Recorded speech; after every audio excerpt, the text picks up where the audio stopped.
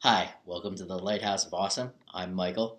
Today we're talking about Augustine's School in Carthage, the third book of the Confessions. So, Augustine goes to Carthage at the behest of his father and mother to study um, essentially rhetoric, Greek, and other specialties that he's going to get rich by by his observation. And so the first thing he talks about is his quest for love and the love of loving.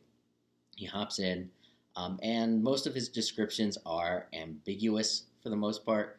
He talks about how love is jealousy and suspicion and all those young love, like, does she like me, does she not like me type of things.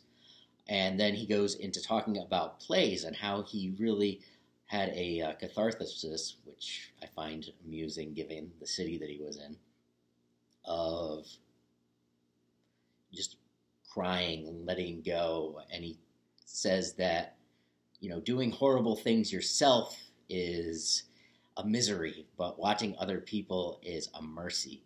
And he really gets an enjoyment out of seeing these plays and how the characters love and are torn apart and basically classical drama and dives into it. It's not clear what his relationship is with the church. His mother, um, definitely Christian. His father um, dies, and he's kind of just like, oh, yeah, my mom paid for this when he's talking about Cercio's rhetoric.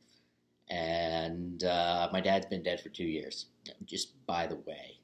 So it sounds like his um, he had gone to Carthage and not been in much communication with his parents, and eventually found out that like, oh yeah, dad had passed away. Not soon, not long after their trip to the baths together, where his father recommended that he start making children. So during this period, he isn't a big Christian, but he's still going to church. He says, once made bold to indulge in carnal desire and conduct during the celebration of your sacred mysteries, which I take to be that he was uh, macking it in the back of the church during the service. And it's very graphic and taking various views on things. And eventually he does get to Cercio's um, books, which we've lost to modernity, but seems to be some sort of book on rhetoric. And he talks about how he wants to be a likes the philosophy that Cercio was talking about more so than the actual rhetoric lesson that Cercio was trying to teach in the book. After that, Augustine becomes a Manichaean for about nine years. It's a dualist religion based on a guy named Mani from Persia area, and it was strong in the Book of Enoch, uh, which I kind of hopped into and was interested in. It's part of the Jewish pseudepigraphia.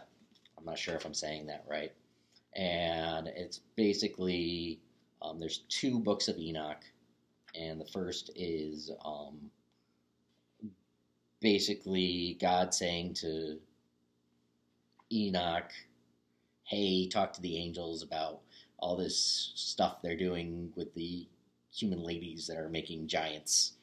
And then goes on to more informational stuff about the angels and all this information. And the second uh, book of Enoch uh, goes into other the heavens and stuff like that. So he's a Manichaean for nine years, and in typical convert fashion, talks crap about his own religion, old old religion, uh, which wasn't that different from Christianity. However, it had fallen out of favor with the empire just a couple of years before his convert about the time of his conversion to Christianity. So he was just kind of like, ah, good time to leave. And that's what he did. Um, but we're not to that part yet. At this point, his mother is all worried about him and has a lucid dream about a wooden ruler that is balancing and allow and goes to speak to some church elder who says that Augustine is unteachable at this moment and he just has to kind of work through it.